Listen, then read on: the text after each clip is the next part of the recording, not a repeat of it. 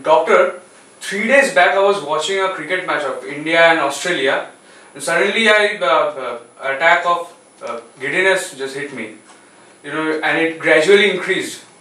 So I tried to move on, but it didn't work, and then uh, the whole room was spinning around me. Actually, I couldn't see anything properly. Then I uh, asked my father to come and help me.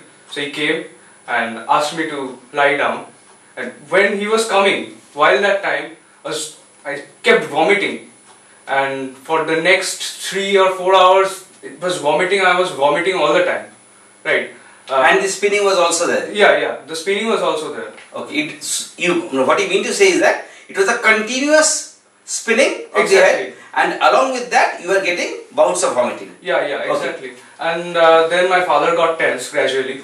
Uh, so he called the local doctor to come and check me out. Yeah. Okay. So he came and uh, gave me a couple of injections and some medicines and asked me to take some rest. And he said that uh, after two or three days it will be just fine and I'll be okay, uh, same as before.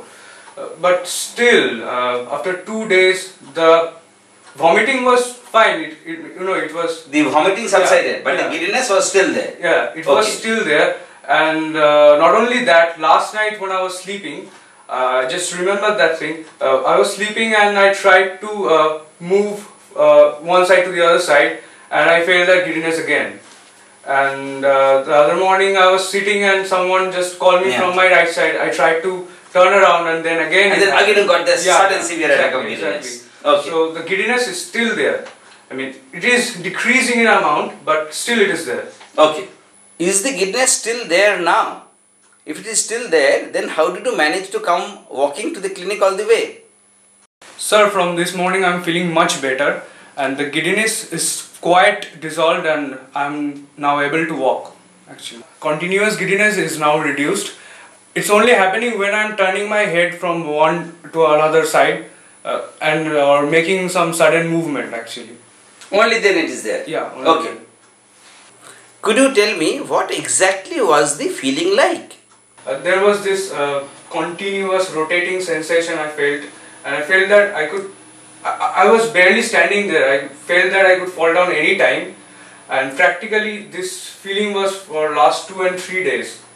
You know. But then when it was happening, it was appearing to you that the entire surroundings were spinning sir. around you. Exactly, sir. The And that was, that was happening continuously. Yeah, yeah. Okay. And now from this morning, uh, that Things are much better. Yeah, things are a lot better. Did you ever have any of these attacks previously also? No, sir. This is the first time this kind of attack has occurred to me. Could you tell me whether there was any accompanying symptom or not?